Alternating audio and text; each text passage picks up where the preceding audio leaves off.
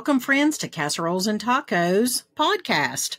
I am Katie, the casseroles half of the team. And I'm Andrea, always cooking tacos, but not so much lately, but a little bit. It's just pretty hot, folks. It's pretty hot.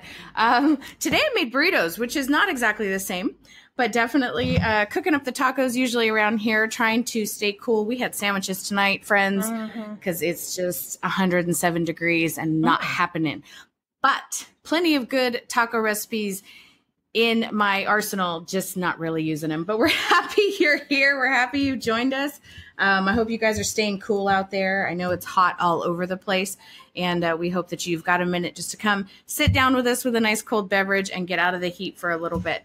We're happy you're here. We're thankful that you'll come back and join us. And, um, you know, Katie, I was really interested in to see and hear how much uh, feedback people had about our heritage or our um, kitchen legacy conversation. Yeah. Uh, we had a couple episodes ago talking about, you know, the legacy others have left or the legacy we hope to leave or how legacy can be built in the kitchen.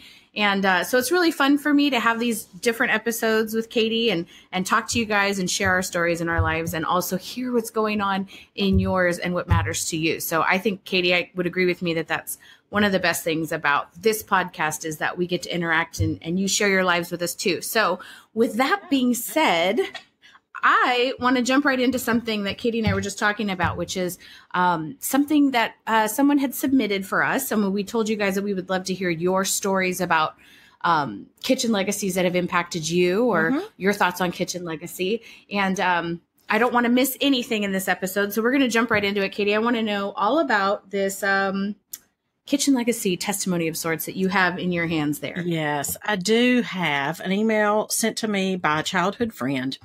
And um, now I'm just going to tell you, uh, we want to hear all of your uh, kitchen legacy stories, and we encourage you to send those in to us.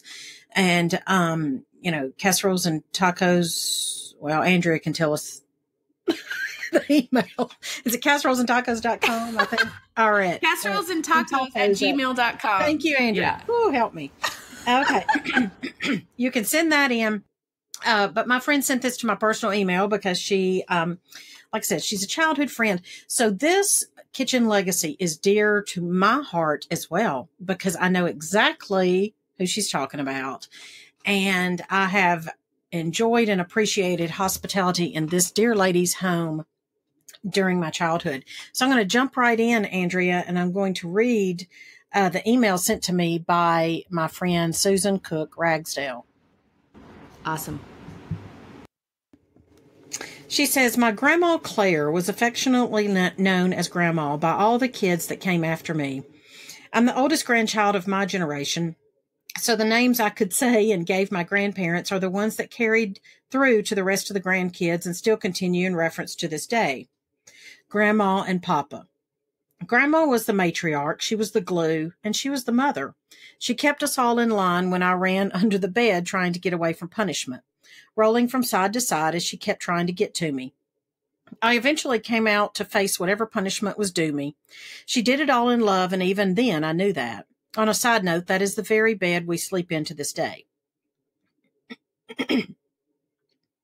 When it came time for family meals together, Grandma was always the hostess, even with her own family. She wouldn't sit down till everyone was taken care of. My job eventually as eldest grandchild was to bring in the rolls from the kitchen in the metal bun warmer after everyone's plate was filled. But I couldn't do that until Grandma sat down. I remember often telling her to sit, please, so I could go get the rolls. I still have that faded vintage bun warmer, and it's one of my prized possessions. Those rolls were the staple of her meals. They were famous. They were the rolls that foods were food dreams are made of. She would take them to church potlucks and to funeral homes. She would make them and freeze them for meals throughout the week. I could go to grandma's house any time and get a roll with ham, with butter, with jelly. Whenever and however I wanted one, one would be made available. I miss her rolls. I miss my grandma so much it hurts every time I think of her now. She was my anchor, my confidant, and my friend. She taught me piano. She taught me to sing alto in church and to read music, but also to hear and feel it. Now I teach my own daughter. She was above all a Christian, but being a mother and grandmother just came naturally to her.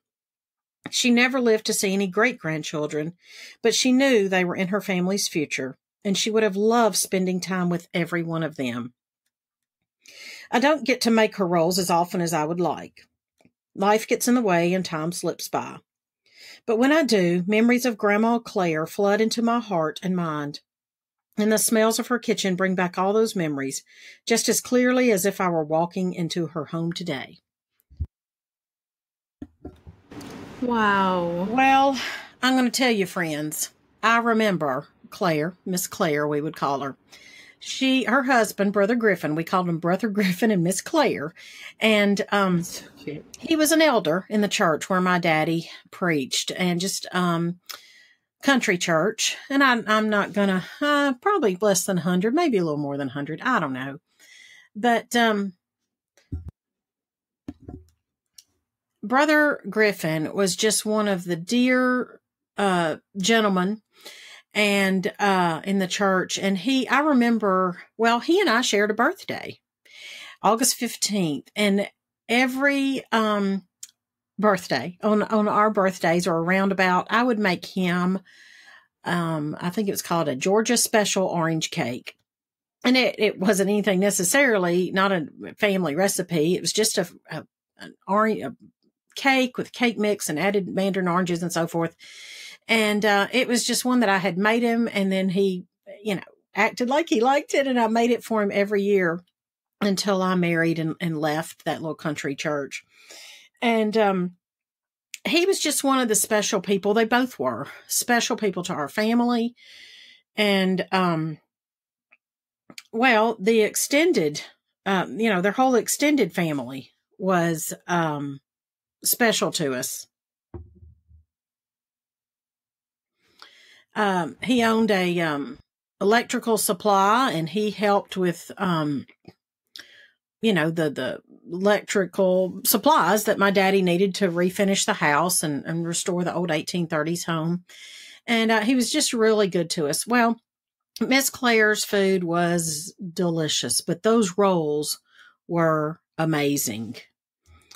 So, Andrea, I have the recipe for those rolls that I would like to oh, share, wonderful. and maybe um, our friends could pull out their casseroles and tacos cookbook that they've started writing in, and they could add this. So I will I tell you Grandma Claire's rolls. Now they're called Grandma Claire's All Bran Refrigerator Rolls. I did not know until just about well three weeks ago that they had all bran in them because Susan and I had uh, we had an opportunity to meet after many years of not uh, seeing each other, and she told me that. So here is the recipe, my friends: two packages dry yeast, one cup water, three fourths cup sugar, one cup all bran cereal, one cup shortening melted and then cooled to 110 degrees, two eggs, one and a half teaspoons salt, six cups all purpose flour.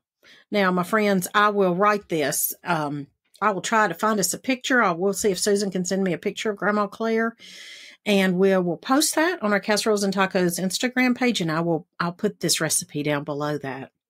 But if you're writing it down now and you want to try it before I get that posted, it says proof yeast in water and sugar for 10 minutes. Add the all bran and let it set until the cereal is soft. Now, if you don't know what all bran is, by the way, it is, um, if you're not familiar with buying that, it is a cereal and it's just called all bran. I think it's Kellogg's, maybe. I'm not sure. But that's the name of it. Add the rest of the wet ingredients and mix well. Add the dry ingredients until well mixed to form a dough. Cover and refrigerate overnight. Set out for three to four hours to let the dough come to room temperature and then double in size. Roll out and form rolls into balls. Let them double in size again. Bake at 450 for 8 to 10 minutes. Now, I may be wrong, and when our friend Susan listens to this podcast, she can correct me on the um, Miss Claire Casseroles and Tacos Instagram post. But I remember them being folded over so um, I don't know if she rolled them out and then fo- you know, folded them over on the sheet or not. I'm not quite sure about that, but nevertheless, you'll still have the dough and it'll taste the same. Bake at 450 for 8 to 10 minutes. And then she makes this note. Now, grandma would do the ending a little different. She would put them in the oven to cook until just set. Then she would take them out, let them cool, and put them in the freezer. This way, she could fix them at the first of the week and have a tray of fresh rolls ready to go in the oven with any meal, or when one of the grandkids like me came begging. This recipe yields about three dozen rolls.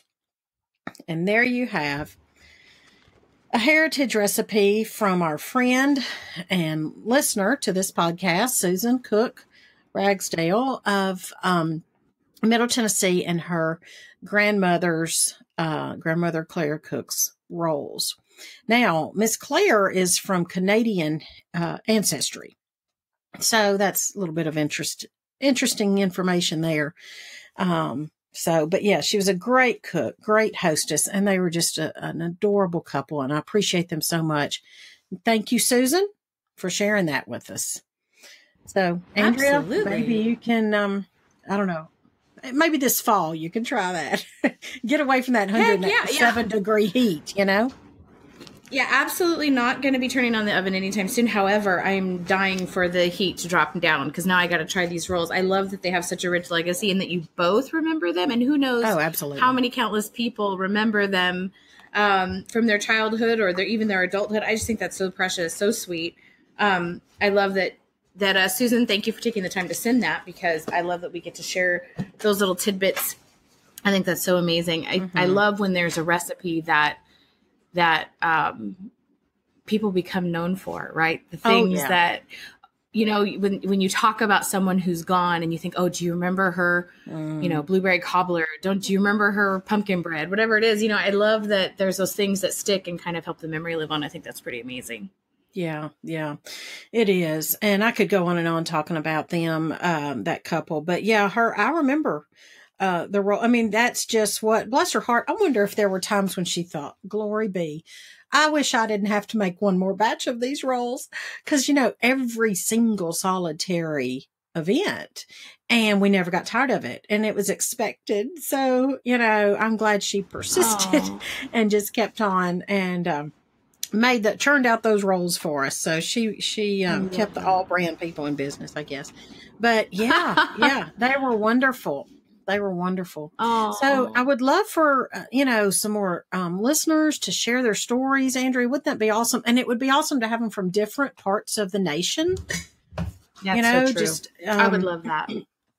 I would too. I would too. So they can they can get in touch with us and share those.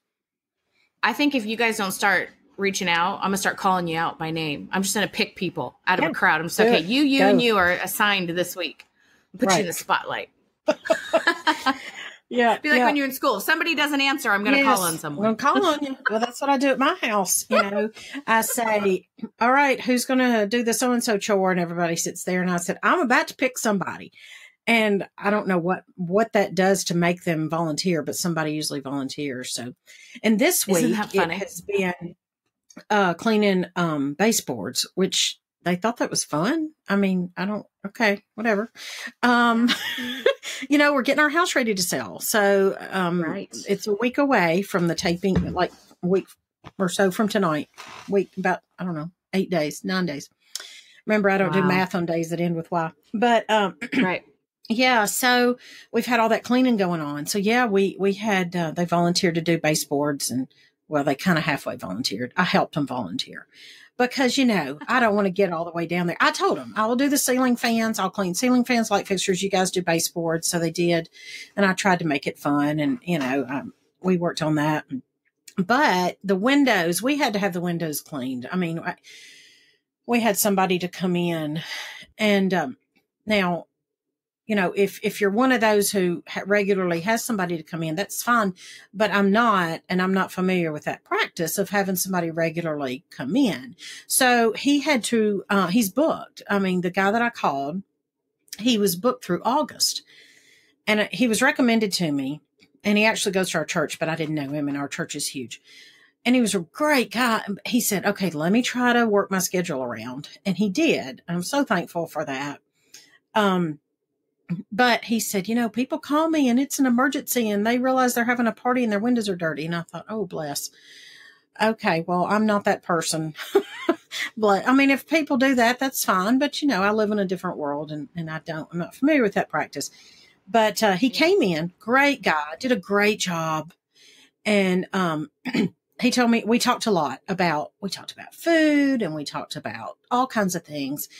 And it all started because I asked him if he wanted a SCOBY. I've got these SCOBYs and I don't, I, you know, you know, I can't, I, I, just, I'm not in a position where I can make that right now and I can't take it with me on the RV. I mean, I, maybe I could, right. but I just needed to sh- share the SCOBYs. And he said, no, no, no. But he started talking about um, all kinds of food and foods he makes and fermenting he does and yogurt making and so forth. Well, this is fascinating. And I couldn't wait to share it with you, Andrea. So hold on. Let's listen. Okay. He told me that he makes his kraut and all kinds of ferments. He even showed me on Amazon, on his phone, on Amazon, what book he bought um, to, you know, learn how to ferment foods. And it's a cookbook. I don't remember, I think, well, seems like the name of it was Fermented Foods, but that's really generic. So I don't know. But he said that it has fermented food recipes from all over the world. And he made, uh, he's made different ones that he loved, but he made this one and, um, it uh, was uh, it was from Africa. That the recipe derived from Africa, and it I think he said it had beets, and then he, he said it had something else, and I don't remember what it was, but it did not sound at all like it would complement beets. Anyway, shredded beets and other things. Well, he didn't care for it, but he said he has this African American friend who's like a brother to him. The, the guy I'm talking about was a white guy. And so he said that the the uh, friend contacted him. They were just talking one day, and the friend said, "Hey, man, I'm doing um, paleo diet," and they were just chatting about that. And the um, Keith, that's the window washer guy. Keith said, um, Hey, you know, I've got several ferments. I just want you to try some. You know, I'll, I'll, give you several ferments. So he got seven different ferments that he'd been working on, one of which, and only one, was that recipe that came from that cookbook that had derived out of Africa. He gave them to the friend, didn't tell him which is which or whatever. He just gave them to him. And the friend contacted him later and he said, Oh, you know, thank you for the ferments and I loved them. But he said, my very, very favorite was that purple one, which ended up being the one that the African recipe. So that captivated me. And I was like, wait a minute. I mean, the guy was African American and he was drawn out of all seven of those ferments. He was drawn to the one that the recipe that had derived out of Africa. And that made me think, whoa, wait a minute. I wonder if DNA has anything to do, or if your, you know, your genetics and your, your ancestry has anything to do with your tastes, your likes and your dislikes of foods. Right. So have you ever heard of anything like that, Andrea? I mean, are you, have, I mean, that, that just no, seemed, I, seemed fascinating to me it is. It is fascinating but i have never heard of that specifically but i it's interesting to me the things that have carried through my family more dislikes than things that we're drawn to but the dislikes have carried. And it's not just like because we've said you that's gross and everybody agrees with you. It's like people that i didn't even spend a lot of time with growing up it's like our whole family dislikes certain things. Okay. um so i don't know maybe if the palate is affected somehow i don't know that's interesting well, it is. And so, like many things in my life, I thought I had an original idea, right? Until I go exploring and then, you know, bombed out. Kind of like the RV full time, you know, but I don't get out much, I guess. But um, so that's what I did. I went on the internet and explored, and sure enough, y'all, sure enough, I've got some papers in front of me. I had jotted down some notes, and I want to share those because I just think this really? is fascinating. This is it's a real thing. Absolutely. It is a thing. That's amazing. so, you know, if it had been 1929 and the man had told me this, Katie would have been the one to discover this um, little, you know, phenomenon. But as it is now, alas, Arthur Fox decided, or he discovered it in 1931. so, okay, so I have got, I went on SmithsonianMag.com and um, I'm just going to paraphrase, but this is where I got my the first part of my information. And so Arthur Fox was, the, was this researcher, and I'm really dumbing it down, y'all. So if you are a you know researcher or geneticist or whatever, then please forgive me. so Arthur Fox had this powder and he blew some in the air intentionally or accidentally and his um, co-worker tasted sweetness in his mouth and Arthur tasted nothing. And so he was like, wait a minute, why, why are we, you know, receiving this in two different ways? The sweetness or no taste at all. And that's what started the whole discovery or the, whole, you know, research about this. So 1931. And I don't know in what country because I didn't find that information. But it did say in the article, the Smithsonian article, the way we perceive some flavors is coded in our DNA. So, hey, you know, the little ferment story um, has some truth to it. And um, so, yeah. Uh, and let's see, what else did I find out? Oh, in discovermagazine.com, I was reading, and it's called Nutrigenetics. Okay. Now, I may be behind the times. Y'all may know all about this. But if you don't, please let me help you understand. And it says, it says, um, let's see. It says, I'm quoting, understanding the way our genes affect our choice of foods and our body's ability to process these foods is nutrigenetics. Researchers believe the studies could contribute to personalized diets that make healthy foods tastier by catering to people's preferences. And so they found out some Italian researchers were performing, um, this is after the Arthur Fox 1931 thing. This is more recent. Italian researchers performed a genome uh, wide association studies, GWAS, to locate the specific genes responsible for certain food preferences. So a GWAS identifies variants within snippets of your DNA, and they get that from blood or from a cheek swab, um, that are linked to certain traits in groups of individuals. Um, now, I'm going to read you the foods. This was kind of interesting too. So, the foods that they found um, that 17 genes were linked to these foods um, that uh, the the genes affected people's affinity for these particular foods that I'm going to mention. All right, and you might be surprised that certain foods aren't in the list. I bet you will be. Okay. Number one is artichokes. There are three genes that affect whether or not you're going to like artichokes. All right. Uh, bacon. I mean, hello. I mean, there's a group of people that doesn't like bacon. I'm sorry, I didn't realize that was the thing. Um, broccoli. There are two genes that affect whether or not you like broccoli.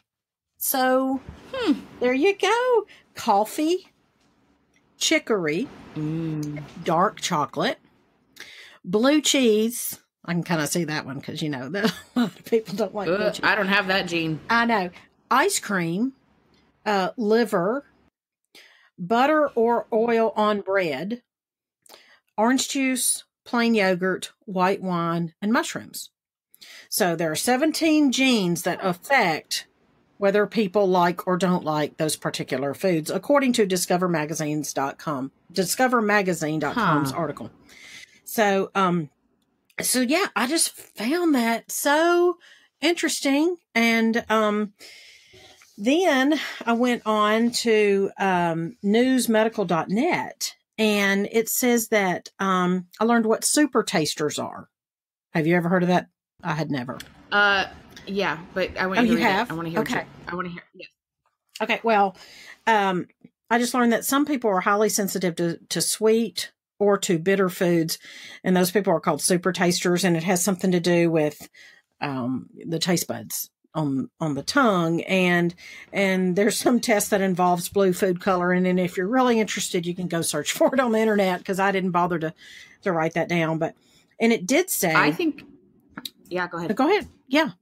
No no. I was gonna say i think i'm a super taster. Oh do you? Okay why? Yeah, I really do. I really think I am. You can do that. Go, go. When we hang up, go search blue food coloring. It's something. It was simple, but I didn't write it down. Something about putting blue food coloring on your tongue, and then swish your mouth out with water, spit out, and then you just look at your tongue, and you can somehow determine if you are based on Oh, it's I wanna know raised or not raised or so. I don't know. Go. Please Oh. report back and let us know if you're a super taster. Why do you think you are? Yeah, Mean, because I have an incredibly sensitive palate, like incredibly. And I think my cousin does too. So I wonder if there's like, and my brother, in fact, my brother is a winemaker and is known for his palate. And I think, Huh. um, like he gets hired to be, um, what is that called? What's the word? It starts with a C that slipped my mind just now. Oh, I don't know. A consultant. He's been hired Oh, oh, as a oh. consultant for certain people just to taste the wine for them. oh, Like that's how intense his palate is. So, um, Okay. and uh, genetically, like I think it's a thing in our family, and so I've always felt like there's something. I don't want to say not right because it works in our favor. I think Right. it does make us better cooks, but I think it's um something's. I, I definitely think there's something to that, and I'm now I want to. I got to look up the test. I got to find out. I know you guys are all hanging on this cliffhanger. Yes, I know you're you all just are. like dying to Oh, find out if I'm a super taster. Please. is she or is she But- not? We need some kind of dramatic music right now. Um, Yeah, okay, dun, well, and- rest assured, I'll tell you next time. Please. Oh, please. Oh, relieve us of our misery so we can sleep. Uh, no, seriously, no, for real though. That's interesting because I'm just Yeah. learning all this and I didn't even know you knew this. So, uh, it is genetic. I did read that. So I wouldn't be So surprised. I mean, you're talking about your different family members, but no, for real Yeah, you know, though. I do want to know. Go, please Yeah. do the test and and I um, will. and let us know. Curious. Um, okay, now my last note on the super taster notes, it said children who are super tasters. Now you tell me if this was you as a child. Might Uh-huh. might choose sugary drinks in preference to um, over water or milk if given the choice, obviously, uh, due to taste preferences. Because um, water and milk don't do it for them. I mean, you know, it's bland. So, given the choice, you know, some people don't give their cho- children a choice of sugary drinks, but given the choice, a super taster child would choose a sugary drink. So, was that? Do you think that was you as a child? No, that was Gavin though. And what's interesting though is I'm actually put off by things that are too sweet because everything tastes. Okay. And Piper's this way. Everything tastes too sweet to Piper. It, it can have no sugar in it, and she thinks it's too sweet. Okay, well, I did read another article, and I didn't write down where I read it, but um, they did a um, a stevia test, and exactly what you're talking about, like um, the same amount of stevia, two different people, a super taster, a non super taster, and then in the one it was, um, I guess in these in the non super taster, I guess it would have been sweet, and then then I guess in the super taster it would have been bitter. Isn't that how it would be? Because I Oh, mean, I if you use too much stevia, it is bitter. I can't stand stevia because it tastes so funny to me. Okay, That's interesting. That's interesting. Now I'm kind of wondering about Gavin more the other way because they're saying super taster would taste sweet appropriately, but too sweet would be bitter. And to me, too sweet is just, I mean, I, I'm extremely sensitive to sugar. So I don't know if it's Mhm. that I miss my, my, like my palate misinterprets it or if I'm just put off by too much sweetness. Piper's the same way, but Gavin, I Mhm. swear nothing could be too sweet for that boy. Nothing. And he's always been that way. But you know what's interesting? You mentioned all those foods. Yeah, So yeah. now I'm going to have to do the test to satisfy my own Right. curiosity. But you Yes. mentioned all those foods, and I'm really surprised that they did not include cilantro in the study because there is a genetic hey, thing. I'm interrupting. No, it's a thing. Yes, I saw that. yeah, People hate cilantro. Trinity it's a has that genetic gene. thing. Oh my yeah. stars! It tastes like soap. Yeah, Trinity exactly it tastes like soap. And you, okay, I'm getting excited now. uh huh. I read that. No, Yeah, I, I, it's see, I don't do research, so you can tell this is a rare phenomenon that I even researched. Oh something. no, I'm a researcher. It's my problem. Yes, I wrote. I read on there that people. I interrupted you. I'm sorry. That people say cilantro tastes like soap, Mhm. and one lady. I made this note in case we needed it, and I'm going to use it right here. One lady commented down below. She said, um, "Is there a thing for people who, you know, is there such a thing that people think cilantro tastes like soap?" And another lady commented and said, "Absolutely. My daughter and I did, and I'm not endorsing this website. I'm just telling you what the lady said." She said, My daughter and I use 23andMe, like the number, the numeral two and three, 23andme.com. And she, the lady said that she used that website to find out their um, DNA and so forth. And as a result of that, they found out that they had that gene that um, where the cilantro tastes like soap. So Wow. that's It's interesting. a real Yeah. thing. It is a thing. Yeah, that's it's my genetic thing. Yeah, Trinity Wait, can't so do it. you put she do you put cilantro in your um pico or I use I mean Celine. Uh, she'll. I don't know. See, she's sitting right here. Trinity, shake your head. Do you like my salsa or do you taste the cilantro? You taste the cilantro. You like it. She likes it. I don't know. Maybe it covers Oh, up. But if I put like- it plain on something, she and also Trinity's palate is not super sensitive. It's funny the things that like she'll eat things even if she doesn't like them because she just sees food as fuel a lot of the time. Mhm, So she's one of those that's like, oh, I'll just eat it even if I'm not crazy about it. But if I put fresh cilantro on her food, just like on her tacos or whatever, she's like, and you just made it a soap taco. Like she just, like, soap taco. Yeah, she's not a fan. She and me, I put it on everything. I when you guys see my pictures on Instagram of my food and it's sprinkled with cilantro, I Uh-huh, promise you uh-huh. that's either my Right. it's my plate because Art doesn't like it either. He's not crazy about cilantro. It doesn't taste like soap to him, but he just says it tastes gross. So he, and maybe it does taste like soap and he just hasn't identified it. Yeah. Yeah, yeah, it's really funny. Well, and and you don't know, people like me, I've not grown up in the Mexican culture, so I mean this lovingly to you, but I mean, I that's odd to me. You know, people of Yeah. Mexican descent would not like it because I mean, I mean, am I wrong? I Yeah. mean, it's used a lot in Mexican cooking, right? It's And so yeah, it's kind of like one of the primary. that- yeah, Yeah. that's just fascinating. That hmm. Okay, is there another what's int- food that y'all don't? I mean, Oh, okay. The one through my family, my side of the family, and my husband too. Ironically, even though like we have no, we share no bloodline anywhere. Yeah, like, right, right. Obviously, two different ethnicities, Right. but he, um, we all, and not just in my house, but if you go through my family, it's like widespread, and not just people. Because I think sometimes you share dislikes because ew, that's gross, or we don't eat that, and so you're not used to it. Like I didn't grow up eating, Mhm. eating mayonnaise, so I just didn't ever Oh. develop a taste for it because I just we didn't eat it. My mom hates it, so we never ate it. So it wasn't until I was an adult that I even tried it. So um, it's one of those. It's not like one of those things that it was environmental. If I talk to some of my family that I hardly ever saw and rarely ate with, it's something that extends, and that is Mhm. raw onion. I absolutely. If you asked me one food that I hate, mhm. and that's a strong word, yeah, it's yeah, raw it is. onion. And I do use raw onion. I like the flavor. It's not the flavor. It's the same for raw onion as it is for watermelon for me. It's the Mm. texture. I can't get past the texture. When I bite into a raw onion and all that, uh, no, I can't handle it. And I, I'd like it's instant. And my brother and I are the same way. It's literally instant rage. Like we completely Oh Hulk out. You're yeah, serious it's like you just this. like I absolutely hate it, Katie. Oh. Like I oh. can't even explain to you. My brother's Oh. worse than me. He if he bites into something and it has an onion in it, he he's like Is he to he spit hulks it out? out. It's Oh my goodness! oh yeah, oh it's a, it's oh. a Oh. literal It's Hulk out. Okay. Oh, yeah. So like Oh. for example, let me give you an example. We've talked about Taco Bell on this show before, and my love for Taco Bell. Uh-huh. And I don't eat there very often, but when I do, uh, it's like those Dos Equis commercials. I don't always eat Taco Bell, but when I do, Yeah. um, right. I order the same thing I've ordered for 25 years. That's how that sentence ends. And it's Mhm. always bean burrito, no sauce, no onions, emphasis on the no onions. Mhm, mhm. And it's not because I don't like sauce, it's because I don't like their mild sauce and I want the hot sauce on the side because the mild sauce is gross, but the hot sauce is good. Okay. Raw, mm-hmm. okay. If I bite into that burrito, which nine times out of 10, I will open it and check it first. And my husband laughs at me. He's like, You going to uh-huh. check your burrito? Of course I'm to check my burrito. Yeah. So- I, I don't blame you there. I mean, Yeah. you never know. So uh, if I bite into that burrito and I bite into an onion, like I'm getting stressed out just talking about it. Oh, And my brother and sister and I, no, no, my brother and sister and I, exact same, like we will have the exact response, all three of us. It's irredeemable. Katie, it's irredeemable. I am not going to just pick it out and eat another bite because I already know where there's one, there's two. And so if I bit into that one rogue onion that's hanging out in my burrito and I throw it away and I take another bite, I'm going to find its friend. That's what's going to happen. Are.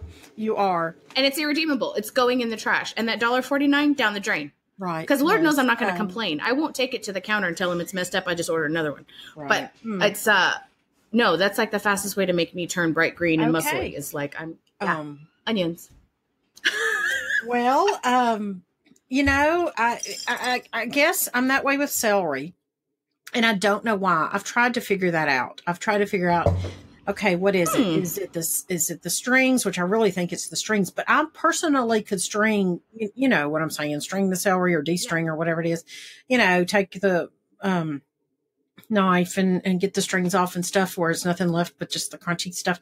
And still, I cannot get that near my mouth. Like my elbow won't move that way. And um, you know, and my grandmother would stuff it with her homemade pimento cheese when I was a little girl. And so I would lick it out of the little or get it with my finger or my tongue. I can't believe she ate this after me. But anyway, I would lick it or she would put stuff it with cream cheese and sprinkle it with paprika. She she did that sometimes. And I would lick out the insides and give her the celery and she would eat it. And that's gross now that I think about it. And I can't believe I just said that. But um anyway, I I can't put celery near my mouth. But I have like when I was catering, um, you know, I, I put it in people's food recipes, you know, that called for it. And I, I don't have a problem cutting it up or anything like that. Um, I just can't put it in my mouth. And, um, but I have been, I can stir fry it if I make sure there's no strings on it and I stir fry it like in my gumbo and I can eat it. But, Hmm. um, so that's really the only food that I, um, I, I don't, I don't, I have been known to chew and swallow some ex, you know, like I was trying to, you know, be a big girl and try to not spew it across the restaurant when I didn't realize that chicken salad had it in it or whatever. But Oh, I will ask. I'll say, you know, oh, can you tell me what's in your chicken salad? And invariably here, you know, it's pecans yeah. and celery or grapes, Yeah. but it's always has celery. And I'm thinking, oh, people.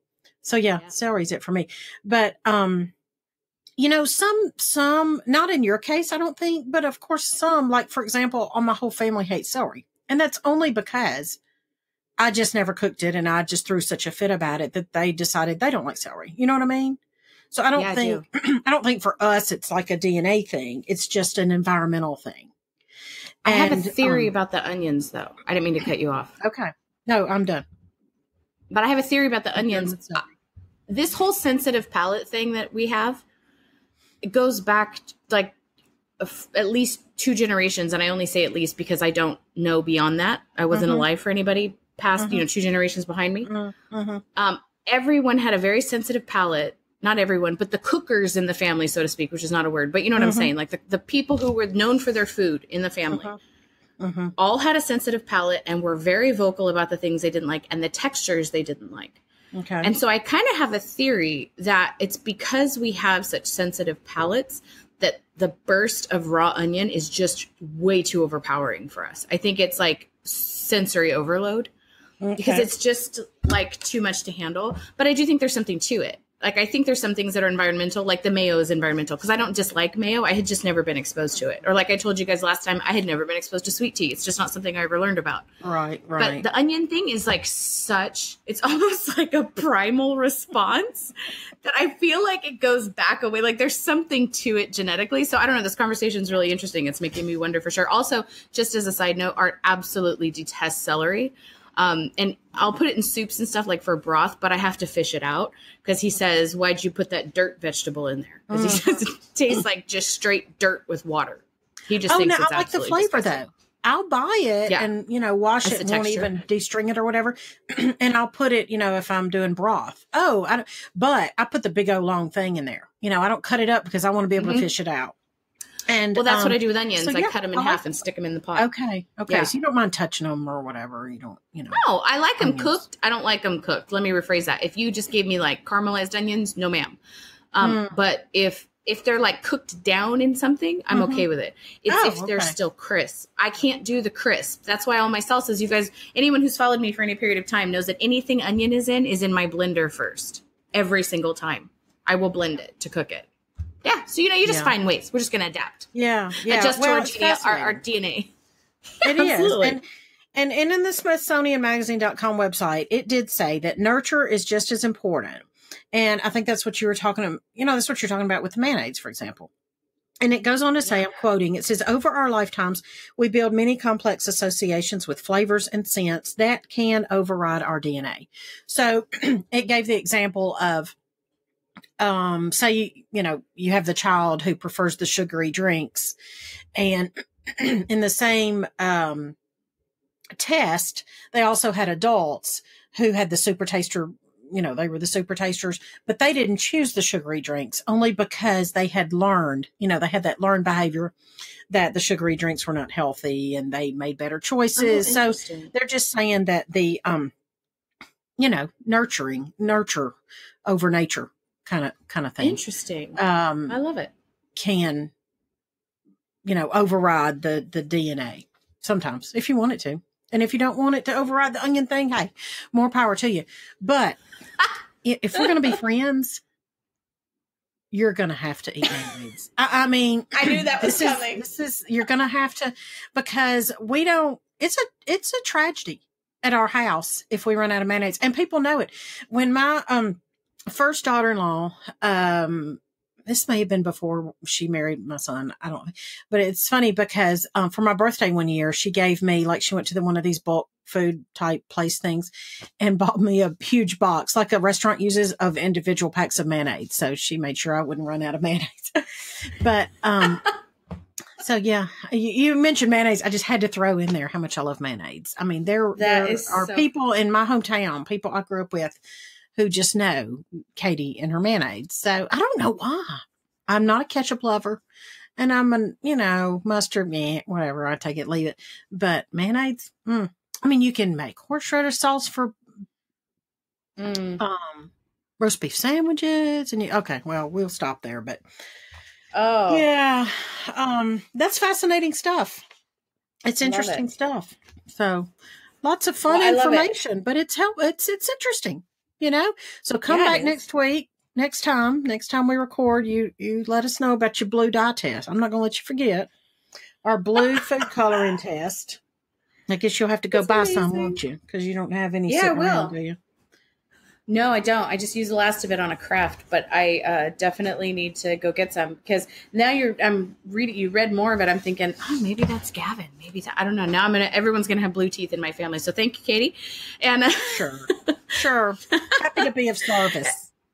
I love it. And thank you guys for joining us for uh, Science Day over here at Casseroles and Tacos. We really appreciate you joining us and learning about all the different aspects of food in the kitchen and Yeah. and life and just sharing interesting stuff. So thank you for joining us. We hope that you guys will connect with us over on Instagram. Tell us if you think you're a super taster because I'm curious. Yes. I want to know if anyone else does the blue dye test. She Let's doesn't get a want to thing be going here. alone. She doesn't want to be alone. I don't want to be alone, so Mm-mm. I'm going to need all the Smurf tongues to come out and uh, share their story too. So find us over on Instagram at Casseroles and Tacos. And again, if anyone has any kitchen legacy stories to share, please email us casserolesandtacos at gmail.com. Or like I said, I'm going to start calling on folks. So you guys have a good one. Thank you for joining us, and we will catch you next time. Have a good one. See you later. I'm going to Taco Bell and getting a burrito. no onions.